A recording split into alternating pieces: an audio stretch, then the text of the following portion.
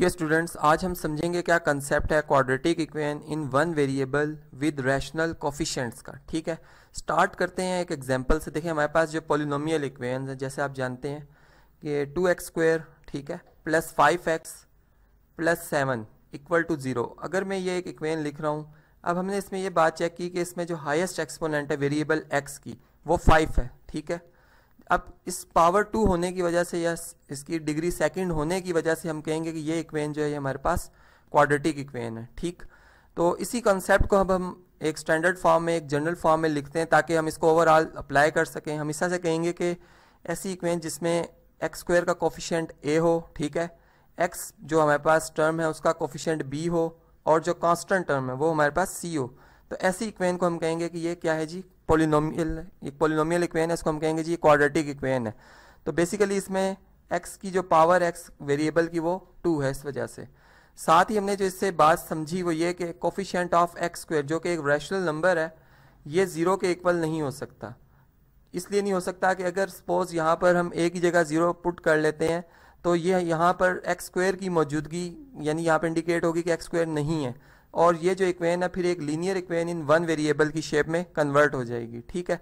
इसलिए a, a जो x square का कोफिशेंट है ज़ीरो नहीं होगा। अब इसकी वैल्यू जो है वो एक पॉजिटिव रैशनल नंबर या एक नेगेटिव रैशनल नंबर हो सकती है ठीक है? इसी तरह से अगर हम फर्दर इसको समझें यानी यहाँ पर एक और मैं एग्ज़ाम्पल से आपको समझाता हूँ। फ़र्स्ट करें कि हमारे पास जो इक्वेन है वो इस शेप में है।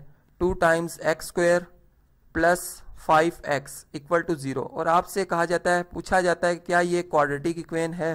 तो सबसे पहले आपने क्या देखना है? एक्स वेरिएबल की हाईएस्ट एक्सपोनेंट जो कि टू है, जिसकी बेस पर हम ये कहेंगे कि ये एक सेकंड डिग्री पोलिनोमियल इक्वेन है और ये क्वाड्रेटिक इक्वेन है। ठीक है? तो यहाँ से आपने जो बात ऑब्ज़र्व की, जो आपके ऑब्जर्वेशन में आई, वो ये आई कि इसमें जो मिसिंग टर्म थी, अगर हम इसको स्टैंडर्ड फॉर्म से रिजेंबल करें तो हमने देखा कि इसमें जो मिसिंग टर्म है, वो सी है, जो इसमें नहीं लिखी हुई। ठीक है? इसका मतलब ये हुआ कि अगर आपके पास क्वाड्रेटिक वेन में सी जो कि कांस्टेंट टर्म है अगर ज़ीरो हो जाए या कोई पॉजिटिव नंबर रैशनल नंबर आ जाए या कोई नेगेटिव रैशनल नंबर आ जाए, तब भी इक्वेन पे कोई इफ़ेक्ट नहीं पड़ता। वो सेकंड डिग्री इक्वेन ही रहती है, यानी एक एक आपके पास क्वाड्रेटिक इक्वेन ही रहती है, ठीक है? अब फर्दर हम इसको समझते हैं। देखें, एक और एग्जांपल से मैं इसको समझाता हूँ। इस तरह से कि हमारे पास इक्वेन इस तरह से है कि टू टाइम्स एक्स स्क्वेयर ठीक है? प्लस टेन लिखा हो। ठीक है इक्वल टू ज़ीरो अब आपसे पूछा जाता है, क्या ये क्वाड्रेटिक इक्वेन है?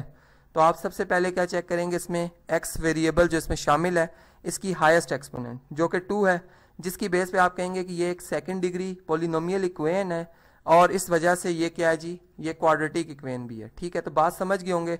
अब अगर आप इसको सेम ऊपर जो मैंने आपको अभी क्वाड्रेटिक इक्वेन की स्टैंडर्ड फॉर्म बताई है, इससे अगर रिजेंबल करें तो आप देख रहे हैं कि इसमें जो मिसिंग टर्म है वो ये यानी हमारे पास जो बी एक्स है, ये मिसिंग टर्म है। और इसमें, इसकी मिसिंग होने की जो वजह है वो ये है कि कोफिशेंट ऑफ़ एक्स जो है वो इसमें क्या है जी? ज़ीरो है।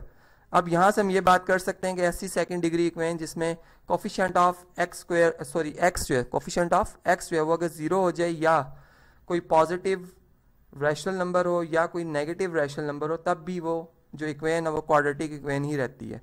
तो आज के इस टॉपिक में हमने जो बात समझी वो ये समझी कि क्वाड्रेटिक इक्वेन क्या होती है और क्या इसका कंसेप्ट है? और फर्दर हमने ये देखा कि अगर इसमें वेरिएबल हम चेंज भी कर दें, यानी एक्स की जगह अगर वाई भी वेरिएबल लिख दिया जाए या जी लिख दिया जाए तो इससे कोई इफ़ेक्ट नहीं पड़ता। बेसिक जो इसकी डेफिनेशन है या इसका जो कंसेप्ट है वो हमने आज समझा।